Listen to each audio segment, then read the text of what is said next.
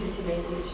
If you see something that doesn't look right, speak to staff or text the British Transport Police on 61016. We'll sort it. See it. See it. Sorted.